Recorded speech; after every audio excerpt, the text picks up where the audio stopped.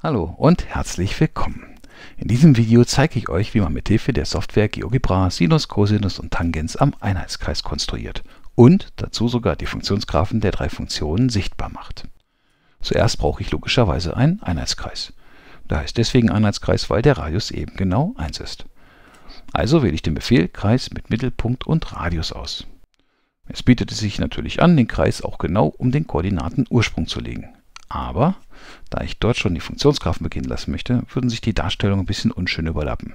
Also gehe ich einfach mal zwei Längeneinheiten nach links und wähle als Mittelpunkt den Punkt minus 2, 0. So, und Radius 1. Dann kann ich das Ganze ein Stück vergrößern. Die Bezeichnung des Kreises mit C brauche ich auch nicht zu sehen, daher schalte ich einfach mal die Beschriftung aus. Weiterhin wird der Mittelpunkt eines Kreises meist mit M bezeichnet. Und das mache ich dann nochmal rechte Maustaste, umbenennen auswählen und statt des automatisch erzeugten A soll der Punkt nun M heißen. So. Jetzt brauche ich noch einen weiteren Punkt auf der Kreislinie. Das geht hier. Punkt auf Objekt. Den Punkt nenne ich dann mal ganz originell P. Wenn ich nun den Punkt bewegen will, so sieht man, dass er dabei immer auf der Kreislinie bleiben muss. Gut. Noch schöner ist die Möglichkeit, eine Animation zu starten. Das geht hier mit diesem kleinen Symbol. Wenn ich das anklicke, läuft P automatisch auf der Kreislinie entlang. Auch den zugehörigen Radius zwischen M und P möchte ich gerne sehen, also eine Strecke von M nach P. Okay, GeoGebra nennt sie automatisch F, aber ich möchte sie gerne mit R für den Radius bezeichnet haben. Als nächstes brauche ich eine Linie, die vom Punkt P senkrecht nach unten verläuft. Dazu gehe ich auf den Befehl Senkrechte. GeoGebra zeigt mir nun unten links genau an, was ich dann auswählen muss. Erst den Punkt, das ist hier P, und dann die dazu senkrechte Linie. Das ist hier die x-Achse. Jetzt brauche ich den Schnittpunkt dieser senkrechten und der x-Achse, gehe also auf Schneide und wähle die beiden Objekte x-Achse und die gerade erzeugte senkrechte Linie aus. GeoGebra nennt den Punkt schon wieder mal a, aber das ist jetzt für mich in Ordnung. Eigentlich brauche ich auch nur die Strecke von P nach A, daher mache ich die gerade wieder unsichtbar, indem ich das Häkchen bei der Sichtbarkeit lösche. Stattdessen erzeuge ich die anzuzeigende Strecke PA. Und diese Strecke wird nun automatisch G genannt. Nee, das gefällt mir auch nicht. Ich benenne sie um in S. Das hat einen guten Grund. Ich kann nämlich zeigen, dass die Länge von S der Sinus des Winkels Alpha ist. Ups, äh, ja, der Winkel ist auch noch gar nicht eingezeichnet. Das hole ich mal schnell nach.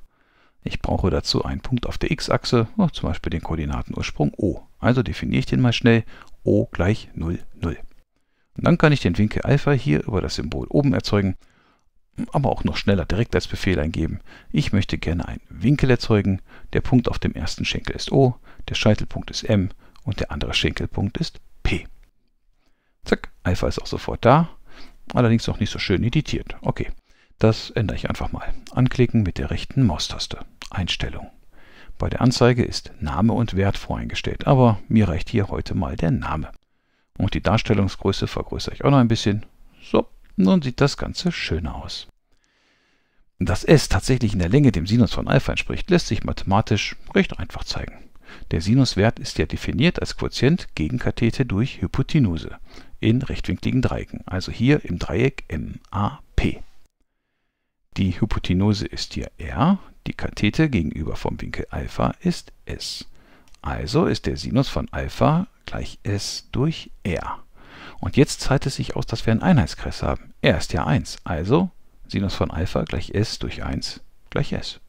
Und das finde ich schön, denn nun ist der Ausgabewert der Sinusfunktion nicht so ein abstraktes Verhältnis von zwei Seitenlängen, sondern ganz konkret als die Länge einer Seite, nämlich der Seite S, erkennbar. Bringen wir noch was Farbe ins Spiel. S ist wichtig, also rein ins Farbmenü und Rot auswählen. Ähm, mit fast der genau gleichen Argumentation kann ich auch zeigen, dass die Länge der Strecke MA dem Kosinuswert zum Winkel Alpha entspricht. Das Durchdenken im Detail überlasse ich aber dieses Mal euch. Ich ziehe stattdessen die Strecke von M nach A und benenne sie passend dazu mit C um. C für Cosinus von Alpha. Auch C ist wichtig, wird also auch bunt. Oh, sagen wir blau. Ein Vorteil des Einheitskreises gegenüber der Dreiecksituation ist nun, dass der Winkel Alpha auch größer als 90 Grad werden kann. Jetzt zeige ich das einfach mal und lasse P ein Stück weiter auf der Kreislinie herumlaufen. Oh, ähm, ne, was ist das für eine Linie? Okay, die gehört hier nicht hin. Entschuldigung, schnell löschen und noch ein Versuch. So, jetzt funktioniert's. Und man sieht schön, wie sich beim Anwachsen des Winkels die Werte S und C immer schön zwischen minus 1 und plus 1 bewegen. Äh, bitte erinnert euch übrigens, dass der Mittelpunkt bei minus 2, 0 ist. Für S ist das jetzt egal. Es läuft nur wirklich von plus 1 über 0 zu minus 1 zurück. Aber der Endpunkt von C bewegt sich zwischen minus 1 und minus 3. Das heißt, bei Berücksichtigung der Verschiebung nimmt C auch Werte zwischen minus 1 und 1 ein. Das ist ja schon mal gut. Jetzt will ich auch noch den Tangent sehen. Dafür brauche ich ein anderes Dreieck und dazu eine Tangente, die hier bei x gleich minus 1 senkrecht verläuft. Der Berührpunkt ist also minus 1, 0. Hm, GeoGebra nennt ihn jetzt b, na von mir aus soll es recht sein. Ich zeichne nun eine Parallele zur y-Achse durch b. Äh, ich verschiebe das Bild mal, sodass die y-Achse sichtbar wird. Dann gehe ich hier auf Parallele, wähle einen Punkt, das ist b, und eine parallele Gerade, das ist die y-Achse, und schon habe ich meine gewünschte Gerade. Der wesentliche Punkt zur Festlegung des Dreiecks für den Tangens von Alpha liegt auf dieser Tangenten. Genauer gesagt ist er der Schnittpunkt dieser Tangente mit der Geraden durch M und P. Die Gerade habe ich noch nicht gezeichnet, muss ich also erst noch machen. Da ist der Befehl Gerade durch M und durch P.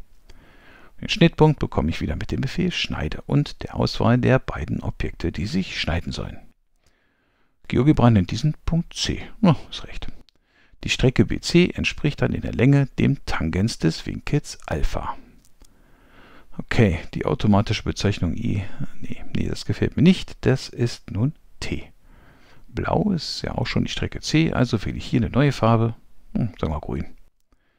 Okay, warum ist T der Tangens? Tangens Alpha ist ja definiert als der Quotient aus Gegenkathete durch Ankathete. Statt des Dreiecks MAP betrachten wir aber nun das Dreieck MBC. Da ist nämlich die Strecke T enthalten. Zudem ist T die Gegenkathete. Und die Ankathete ist nicht die Strecke C, denn die geht ja nur vom Mittelpunkt bis zum Punkt A, sondern die Strecke von M bis B. Und das ist wieder der Kreisradius 1. Damit ist Tangens von Alpha gleich t durch 1, sprich t.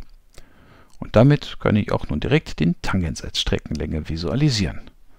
Ich lasse dazu mal p ein bisschen laufen. Ja.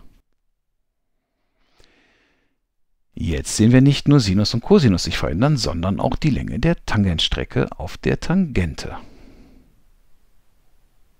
So, dann halten wir das mal wieder an und konstruieren weiter. Die Gerade ist hier noch mit H beschriftet, brauche ich nicht, also schalte ich die Beschriftung ab. Jetzt habe ich versprochen, wir werden die Funktionsgraphen sichtbar machen. Und das mache ich dann jetzt auch mal. Verkleinere ich dazu das Bild mal ein bisschen und verschiebe es ein Stück so. Funktionsgraphen sind ja Linien aus lauter Punkten, bei denen die x-Koordinate der Eingabewert in eine Funktion und die y-Koordinate der zugehörige Ausgangswert ist. In diesem Fall, bei der Sinusfunktion, ist der Eingangswert bzw. die x-Koordinate der Winkel Alpha und der Ausgangswert bzw. die y-Koordinate die Länge der Strecke s. Das Wissen nutze ich aus und definiere einen neuen Punkt. Die x-Koordinate ist der Winkel Alpha, also Winkel OMP, und die y-Koordinate ist gleich groß wie die y-Koordinate vom Punkt P. Daher muss ich hier nur y von P eintragen. Oh, jetzt zeichnet die App sofort den neuen Punkt ein und bezeichnet ihn mit D. Okay, äh, das will ich nicht, der soll großes S heißen. So, das ist ja schließlich der Punkt, der den Graphen der Sinusfunktion abfährt. Kann ich auch schön sichtbar machen. Wenn ich jetzt die Animation starte, sprich P auf der Kreislinie laufen lasse, dann läuft es entlang des Funktionsgraphen von Sinus von Alpha. Oh, äh, ja, okay, jetzt ist er erstmal aus dem rechten Bildrand verschwunden. Muss ich also noch alles ein bisschen kleiner machen. Ähm, die x-Werte laufen ja bis zum Vollwinkel 2pi im Bogenmaß, also ungefähr 6,3. Ja, so müsste jetzt alles zu sehen sein. Nun lasse ich die Animation wieder laufen und sehe, die x-Koordinate ist immer der Winkel im Bogenmaß und der Punkt in y-Richtung immer auf der gleichen Höhe wie p. Gut. Dann färbe ich auch mal den Punkt passend zur Strecke, klein s, in Rot. Und jetzt kommt ein netter Trick. Ich klicke den Punkt mit der rechten Maustaste an und aktiviere das Häkchen bei Spur anzeigen. Und dann lässt die App auch die alten Orte des Punktes sichtbar. Und wenn ich jetzt die Animation starte, dann erzeugen die Orte von S insgesamt sehr schön den Funktionsgraphen der Sinusfunktion. Äh, wir können es aber auch noch deutlicher machen, dass S und P immer auf der gleichen Höhe sind. Ja, okay, ich habe es so definiert, aber ich kann es auch nochmal zeigen. Äh, wir zeichnen einfach eine Strecke von P nach S. Ist jetzt insgesamt nicht so wichtig, daher stelle ich es mal nur in Grau dar und gestrichelt. Der Name von dem Ding ist auch wurscht, ich entferne die automatische Beschriftung. Und jetzt starte ich nochmal die Animation. Und man kann sehen, S und auf dem Funktionsgraphen und P auf der Kreislinie sind die ganze Zeit auf der gleichen Höhe. Für den Graphen der Cosinusfunktion kann ich fast die gleiche Konstruktion erzeugen. Die x-Koordinate ist ja hier wieder der Winkel, also definiere ich noch einen Punkt mit der x-Koordinate gleich dem Winkel OMP und die y-Koordinate ist jetzt gleich der x-Koordinate vom Punkt P. Stopp, stopp, stopp, aufpassen. Der Einheitskreis ist ja um zwei Einheiten nach links versetzt, daher ist die x-Koordinate auch um den Wert 2 zu klein. Ist aber schnell korrigiert, einfach noch plus 2 ergänzen, fertig. Okay, GeoGebra hat den Punkt statt mit C nur mit D bezeichnet. Warum? Ah, C ist da oben schon der Name für den Schnittpunkt. Okay, ähm, mal schauen, was das Programm macht, wenn ich den Punkt D jetzt trotzdem in C umbenennen will. Oh, klappt. Der Punkt heißt C und der ehemalige Punkt C heißt nun C1. Das ist prima. Den Cosinus habe ich mit einer blauen Strecke gekennzeichnet, also färbe ich den Punkt dazu auch blau. Und schalte auch für C die Spur ein. So, und jetzt lasse ich die Animation wieder laufen und C läuft entlang des Graphen der Cosinusfunktion und erzeugt auch diesen mit seiner Spur. Ja. Jetzt fehlt nur noch der Graph der Tangensfunktion. Oh, jetzt haben wir aber schon Routine in der Erzeugung. Wir definieren wieder einen neuen Punkt. x-Koordinate ist wieder der Winkel OMP und die y-Koordinate ist gleich der y-Koordinate von dem Schnittpunkt da. Wie heißt der jetzt? Ach so, ja, richtig. Ähm, C1. Okay. Den neuen Punkt will GeoGebra nun schon wieder dehnen. Okay, nein, nicht okay. Das ist ja der Punkt, der den Graphen der Tangensfunktion erzeugt. Also soll der bitte T heißen. Die Strecke zum Tangens ist grün, also auch der Punkt grün. Ich schalte wieder die Spur ein und wir sind startklar. Animation wieder starten. Und nun entsteht auch der Graph der Tangensfunktion in grün. Okay, äh, teilweise ist das nur in Form von Einzelpunkten angedeutet, weil die so weit auseinander liegen, dass sie keine zusammenhängende Linie mehr ergeben. Zeigt auch schön, dass ein Funktionsgraph eine Linie aus einzelnen Punkten ist und wie die, aber wie die Linie jetzt komplett aussieht, das kann sich, glaube ich, jeder leicht vorstellen. Eine Kleinigkeit nervt mich aber noch, die gerade durch M und P, die fährt dauernd durch das Bild. Eigentlich will ich ja nur die Strecke zwischen P und C1 sehen. Also schalte ich die gerade einfach mal auf unsichtbar, Häkchen bei Objektanzeigen weg und definiere stattdessen eine neue Strecke von P nach C1. Äh, aber bitte nicht gestriche, durchgezogen. Oh, und jetzt sieht das Gesamtkonstrukt hoffentlich noch etwas eleganter aus. Ja. Ein kleines Bonbon habe ich noch. Äh, man kann die Cosinusstrecke hier ja nicht so schön direkt auf den Graphen übertragen wie beim Sinus und Tangens. Oh, ähm, das sehe ich auch die gleiche Höhe von C1 und T kann ich ebenfalls noch durch eine kleine graue Strecke visualisieren. Ach, ich will jetzt nicht die Animation schon wieder laufen lassen. Ich bewege jetzt einfach mal den Punkt P auf dem Kreisbogen von Hand und es ist schön erkennbar, dass C1 und T immer auf der gleichen Höhe sind. Das geht aber für die Strecke C eben nicht, weil C horizontal ausgerichtet ist und nicht vertikal wie S und T. Jetzt kann ich aber folgendes machen. Ich kann so tun, als wäre mein Koordinatensystem nach unten ausgerichtet. Sprich, die x-Achse geht nach unten und die y-Achse wird jetzt zu der horizontalen Achse. Ich definiere einen neuen Punkt, den letzten versprochen aber auch den schwierigsten, weil x und y vertauscht sind. Die x-Koordinate ist nun der Output-Wert und damit gleich der x-Koordinate von p. Und die y-Koordinate ist der Input-Wert, sprich der Winkel OMP. Jetzt habe ich immer noch nicht alles richtig, denn die y-Achse geht nach oben weg, ich will den Graphen aber nach unten gerichtet zeichnen.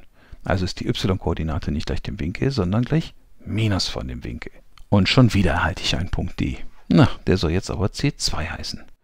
Mit einer gestrichelten Linie zeige ich dann noch, dass er immer auf der gleichen x-Koordinate wie p liegt. C2 färbe ich auch passend zum Cosinus blau. Dann aktiviere ich wieder das Anzeigen der Spur und so sehen wir auch, wie man die Länge der Strecke C direkt übertragen kann und damit den Graphen der Cosinusfunktion erzeugt, wenn zum guten Abschluss jetzt ein letztes Mal die Animation läuft. Und das ist es. Viel Spaß mit der eigenen Konstruktion. Tschüss, bis zum nächsten Mal.